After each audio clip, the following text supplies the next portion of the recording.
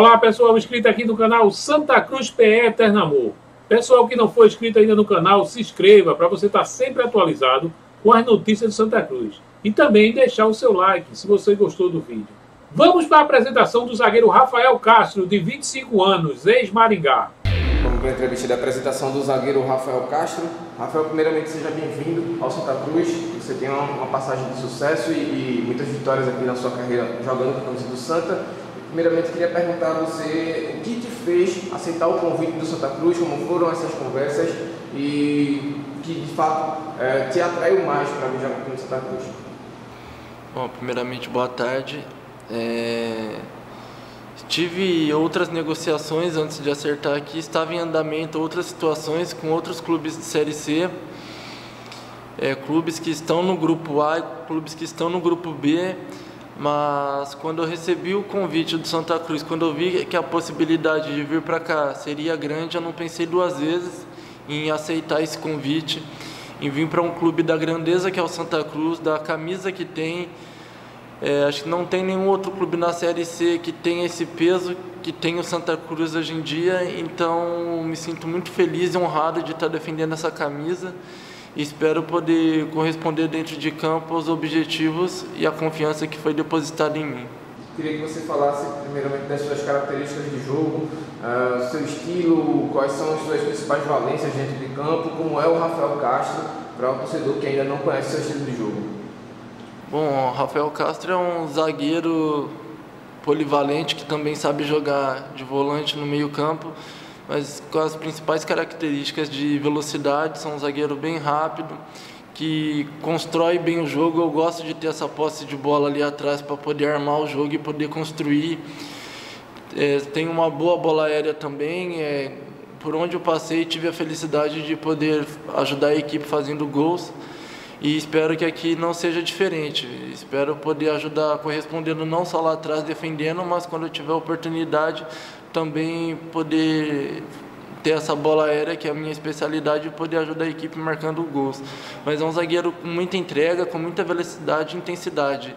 A torcida pode esperar um, um jogador bem aguerrido, com bastante entrega, que não vai desistir enquanto o resultado não for aquilo que nós almejamos.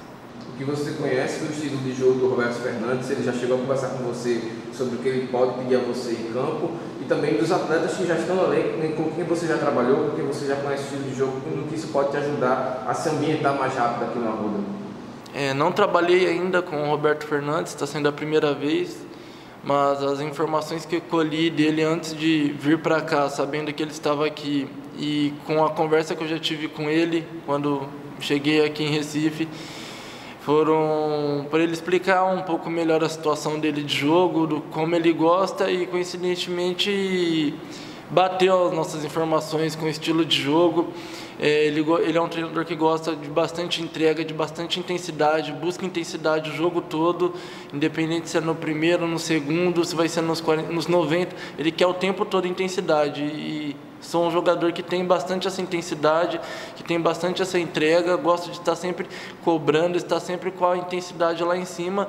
Então coincidiu as minhas características com a forma dele de jogar. É, teve alguns jogadores aqui que eu já pude trabalhar também, como o Vitor Oliveira, que é outro zagueiro, já fiz dupla de zaga comigo no Corinthians, quando passamos por lá. O Frank agora no Maringá também, ele estava no começo do ano lá no Maringá, então conheci ele de lá. Tem alguns outros jogadores também que já joguei contra, mas que fui muito bem acolhido aqui, me passaram as melhores informações possíveis, me deram tranquilidade, me receberam bem. Então acredito que essa junção de coisas venham para agregar e que eu vou encaixar no perfil que o Roberto Fernandes quer e que o Santa Cruz quer como está você fisicamente, você vinha jogando também durante a temporada, mas hoje fisicamente como você está, para você falar dessa, dessa sua situação física, e até porque no próximo sábado a gente tem um jogo importante contra o Paysandu, um jogo de certa forma com um peso maior em relação à situação da tabela, mas que pode ajudar sempre a olhar para cima, na parte de cima da classificação para a próxima fase. É, faz um mês desde a minha última partida oficial, mas não fiquei parado esse tempo que estavam as negociações se concretizando.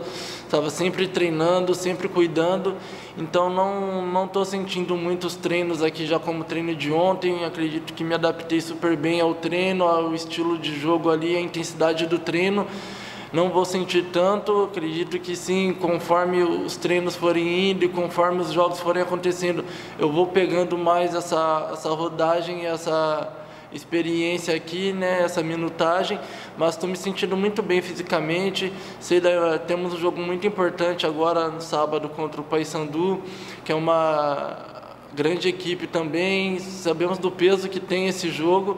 São as duas maiores equipes de em termos de torcida, em termos de camisa que está no no grupo A. Sabemos que a nossa situação não é a que nós esperávamos, a que a torcida esperava desde quando começou o campeonato, mas sabemos da força do nosso grupo que vem se consolidando cada vez mais, vem se aperfeiçoando e sabemos que temos totais condições de fazer um belo jogo aqui em casa, conquistar essa primeira vitória, que é isso que acho que está faltando, conquistar a primeira vitória para as coisas começarem a caminhar e fluírem com os nossos objetivos.